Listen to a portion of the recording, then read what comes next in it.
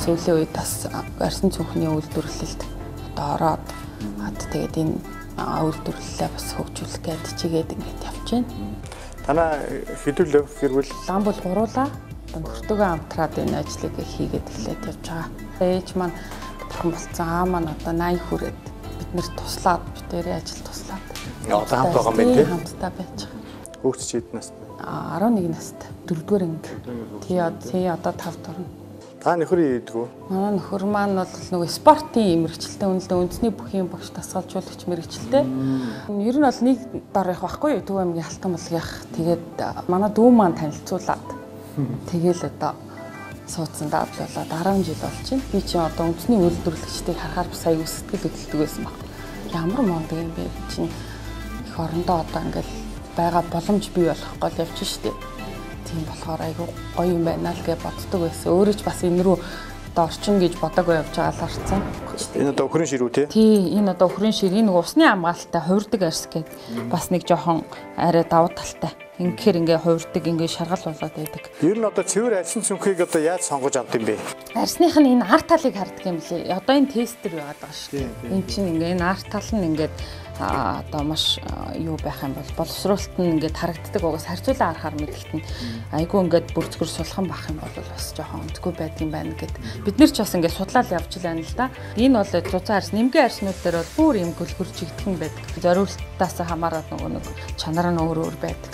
Ямар цүнх хийхээсээ ямар бүтээгдэхүүн хийхээс хамаарат зарим нь цуцан зарим нь хөнгөн нэмгэн байдаг. Сүүлийн үед энэ залуучууд бас энэ цүнхийг спорт зааланд гадуур аяллаар мэдэр явахтай, мөн гадаад мададад явахтай тий гадаадд явахдаа айгүйх авдаг. Тийм ээ тий. Дугуй игээд өгөөч ээ. Доор нэм хүл хамгаалагч хийгээд өгөөч ээ. Тэшинд ингээ авах гэсэн юм аа гэдэг. Энд нь ийм хүл хийж бол хийж өгж байгаа. Ийм нэг хамгаалтын хүл доор ингээ тавиад чирэхэд юу яадаг хамгаалдаг арсын хамгаалдаг юм. Тий. Танахаа нэг борлуулдаг дэлгүүртэй юу? Аа дэлгүүр одоохондоо байхгүй. Ер нь бол нөгөө хинтээ рүү нэг юм бэлэг дурсгалын дэлгүүрт бол гаргаж байгаа. 23 дэлгүүр бас ингээд нөгөө худалдаачд бол холбогдсон байгаа юм. Тэгээд бид хэд бас нөгөө амжихгүй болохоор за жоохон өртгөхөөрөө бодъё дараа холбогдъё гэж ингээд хойшлуулчаал байж байгаа. Энэ одоо 35-аас дээш насныхан бол айгүй сонирхож байгаа. Ноутбук гэж чи чинь цунар зөндөө юм их юм хийх том цүнх хэрэгтэй байна гэдэг байхгүй. Тэгэл тэрэнд одоо зориулаад анх захиалгаар гаргаад тэгэл тэрнээс хойш энэ загвараа тэгээд байнга гаргаж байгаа. Энэ айгүйх эргэлттэй ингээд гараад дуусчаад идэх. Нөгөө гоё өнгүүд нь ингээд дууссан. Ер нь одоо ингээд цав тахад дуусаад карантин марантин эдрэгээ тавигдах юм бол гадаадын үзэсгэлэн яр марант бас нэлээд оролцох зорилготой гэсэн үү те? Тий, одоо урилга ирсэлтэй бас нэг сайт майтан дээр одоо ингээ оролцооч ээ. Гадагшин зуучлаад өгөө гэд ингээ урилга ирсэн 24 цаг цэгийн бас холбогдоод ингээ хамтарч ажиллая гэд ингээ сайтуудаас бол хүсэлт ирээд байгаа. Тэгээд одоохондоо бол бид хэд ямар ч байсан эхлээд өргөтгөлөө хийж авч ижил одоо энэ газруудтайгаа ханд идэг. Тэгээ танах ч одоо тэгээд нэг зар сурчлагаа мурчлагаа гэх юм явуулдаг зөвхөн фэйсбүүкээр л юм явуулдаг. Тий, одоо яг тийм фэйсбүүк пэйжээрээ л явуулж байгаа. Одоо энэ цүнх чинь ямар өндөр гарч байна? Энэ цүнх одоо 225 мянга гарч байгаа. Цэвэр арьсан цүнх байна тий? Өхрөө арьсуудыг зузаан арьс байна тий? Ер нь бол энэ зузаан арьс. Одоо энэ цүнх ямар үнэтэй вэ? Энэ цүнх 300 мянга гэж. Бүтээгдэхүүн хэр үнэтэй байна? Бүтээгдэхүүн Одоо энэ арьс шир энэ тоноглол маргалол энэ ингээ захилгаан маглахаан гэдэг энэ чинь зөндөө болж байгаа шүү дээ тий.